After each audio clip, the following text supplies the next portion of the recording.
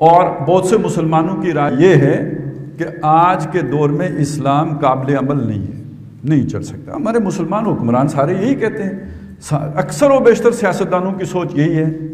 यही वो सोच है जिससे हमने लड़ना है। हमारा दावा यह है कि आज भी काबिल अमल है। ये बात हम नौजवानों के दिलों में, बहुत से जज्बाती लोगों के दिलों में उतारने में तो कामयाब हो जाते हैं। दिल गवाही देते हैं, यार हाँ इस्लाम तो क्यामत तक के लिए है ना, वो गालिब होना चाहिए। ये बात लोग मान लेते हैं। लेकिन आज गालिब होगा कैसे? आज उसकी सूरत कैसे बनेगी? इस जमहूरी निज़ाम में इस्लाम को कैसे गालिब करेंगे? ये नहीं समझाते। जब ये नहीं समझाते तो फिर एक तबाही आती है, जिसके दिल में इस्लाम गालिब हो। और उसके अंदर जोश भी है, जज्बा भी है, हिम्मत भी है, ताकत भी है तो उसे जो ज़्यादा जोशीला नज़र आएगा, उसके पीछे चल पड़ेगा, खा मंजिल तक पहुँचे या ना पहुँचे। फिर उसे लगेगा कि दाइश इस्लाम लेके आ रही है। फिर उसे लगेगा कि अलकायदा इस्लाम लेकर आ रही है। ये तो मैदान में खड़े हैं, और ये तो तरबियती, तरबियत गाँव ही से नहीं निकलते। ऐसे लोग आपको मिलेंगे, जो इस फ़िक्र के आमिल बनेंगे लेकिन जब आप अगली बात नहीं समझाएँगे तो फिर किसी और रास्ते पे चल पड़ेंगे कि भाई इधर तो कुछ होने वाला नहीं, जहाँ हो रहा है वहाँ चलो। तो वो ज़रूरत और अहमियत ये जो बात मैं आपको समझाने लगा हूँ, इसको बहुत अच्छी तरह समझेंगे, अपने साथियों को, दोस्तों को समझाएँगे तो तब जाके ये, यानी हम कोई काम कर सकेंगे और इस माशरे के अंदर तब्दीली लाने के का पहले खुद यकीन होगा कि वाकई आ सकता है। और फिर हम दूसरों को ये यकीन दिलाएँगे, काबिल अमल बना के पेश करेंगे तो तब दूसरा भी कन्विंस होकर आपके पास आएगा कि हाँ यार, ये जज्बाती बात नहीं है, ये कोई ख्याली जन्नत नहीं है, ये काबिल अमल शे है जो हो सकती है। अब आप समझिए कि इस्लाम हुक्मरानी अल्लाह की चाहता है। और अल्लाह ताला ये कहता है, ये जो इंसान है, इसको मैंने दुनिया में खिलाफत अता की है। खिलाफत का मतलब मैं आसान सा आपको बता दूँ वायसराय बनाया है। बादशाह होता था ना, बरतानिया वाला तो वो हिंदुस्तान में वायसराय भेजता था। बादशाह कौन है? अल्लाह है। दुनिया में उसने किसको भेजा? वायसराय को भेजा।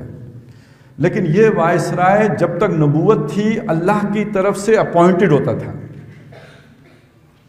ये जो नबी होता है, चुना हुआ, क्या मतलब? अल्लाह ने चुन के अपना वायसराय बनाकर लोगों के ऊपर उसे अपनी खिलाफत अता कर दी। उसका अल्लाह के साथ हार्ट लाइन कम्युनिकेशन भी है। जबरील आ रहे हैं, जबरील जा रहे हैं, अल्लाह से उसका एक ताल्लुक है। ये काम चल रहा है। और इस तरह, जिसको अल्लाह ने कहा, ये मेरा नबी है, वो अल्लाह का खलीफा है।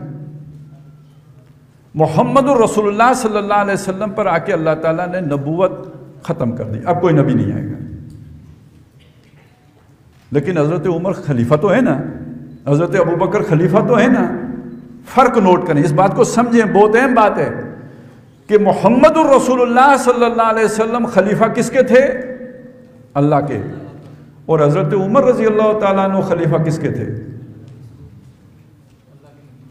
नहीं। नहीं। मैंने हज़रत अबू बकर का नाम नहीं लिया, क्योंकि उन्होंने कहा था, अना खलीफा तो रसूल मैं अल्लाह के रसूल का खलीफा हूँ। मैंने हज़रत उमर का नाम लिया है। मुसलमानों के खलीफा थे, खलीफतुल मुस्लिमीन थे। इब्तदान उन्होंने भी कहा कि अना खलीफा तो खलीफत रसूल मैं अल्लाह के रसूल के खलीफा का खलीफा हूँ। लेकिन अब उम्मत जो बैठे हैं, अहल शूरा तो वो इस नतीजे पे पहुँचे कि ये जो हमारे पास खलीफत, खिलाफत है, अल्लाह की तो नहीं है, ये तो पहले भी समझते थे। ये रसूल की भी नहीं है, ये मुसलमानों की खिलाफत है। अब इस नुक्ते को समझें ये क्या बात है?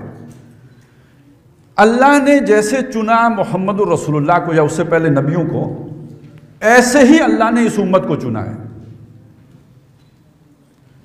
हुवज तबाकुम उसने तुम्हें चुन लिया है। सूरह हज के आखिर में ये अल्फाज आते हैं।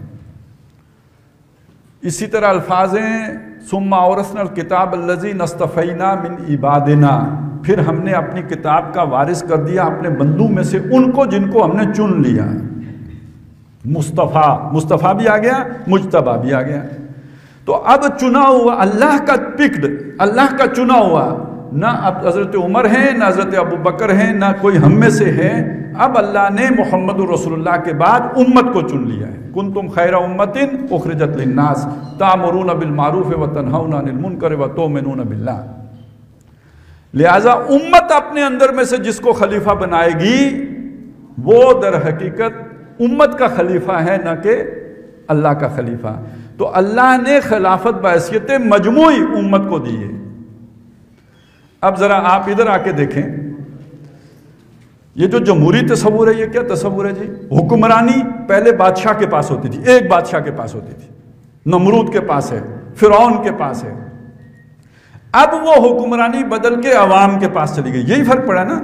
बादशाहों से लेकर अवाम को हक के हुक्मरानी दे दिया गया। अब इस हक के हुक्मरानी को अवाम कैसे एक्सरसाइज करते हैं?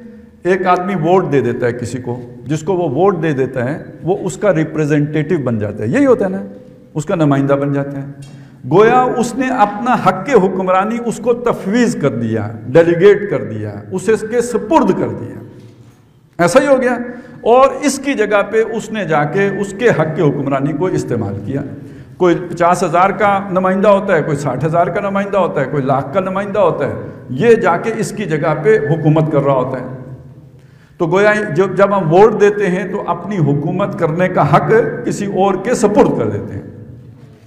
बिल्कुल इसी चीज़ को लेके आए इस तरफ़ कि अल्लाह तबारिक व ताली ने उम्मत को खिलाफत अता की जब मैं, मुझे मशवरे में शामिल करके खलीफा बनाया जाएगा किसी को तो मैंने अपनी खिलाफत उसको मुंतकिल कर दी। अब वो मेरा खलीफा हो गया। समझ आ गई बात? अब ये बात काबिल अमल हो गई या नहीं हो गई? खलीफा अब अगर कोई बनेगा, डंडे के ज़ोर पर नहीं बनेगा। खलीफा अब अगर कोई बनेगा तो बंदूक के ज़ोर पर नहीं बनेगा।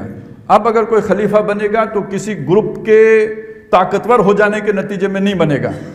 किसी नुसरत के नतीजे में नहीं बनेगा। अब नुसरत वो जो एक ख़ास आजकल एक जमात है जो तस्वूर देती है कि जी, फौजी नुसरत देंगे तो जिसको देंगे वो खलीफा हो जाएगा। ना। अब खलीफा हकीकी वो होगा जिसको उम्मत खिलाफत अदा करेगी। इस्लामी रियासत एक किताब है मौलाना मौदूदी की, उसको ज़रूर पढ़ें। ये सारे मजामी उसमें खुलकर आपके सामने आ जाएँगे। अब मशवरा कैसे होगा? देखिए, एक बात मैंने आपको बताई ना, अब खलीफा कैसे बनेगा? ये जो दुनिया में इलेक्शन का निज़ाम है, इसी निज़ाम से बनेगा। अब फ़र्क क्या होगा? मगरब का और इस्लाम का, वहाँ पे हक के हुकूमत मुंतकिल किया जाता है, यहाँ पे हक के खिलाफत मुंतकिल किया जाएगा। हुक्मरानी तो यहाँ अल्लाह के पास है, किसी और के पास हो ही नहीं सकती। तो जैसे वहाँ, जैसे यहाँ पे पहले नबी होता था, अल्लाह का खलीफा अब उम्मत है, ऐसे ही वहाँ पहले शैतानी निज़ाम के अंदर कोई नमरूद या फिर होता था, हक, हुक्मरान, अब आवाम है हुक्मरान। तो जैसे फिर की हाकमियत शिरक था, ऐसे अवाम की हाकमियत भी शिरक है। तो जैसे नबी की खिलाफत, जैसे हज़रत दाऊद अलैहिस्सलाम या सुलेमान अलैहिस्सलाम की खिलाफत शख्सी थी, इसी तरह समझ लीजिए कि अब खिलाफत शख्सी नहीं रही, अल्लाह ने इज्तमाही कर दी है और मुसलमान अपनी खिलाफत जिसको मुंतकिल करेंगे, वो मुसलमानों का खलीफा कहलाएगा, अल्लाह का खलीफा नहीं कहलाएगा।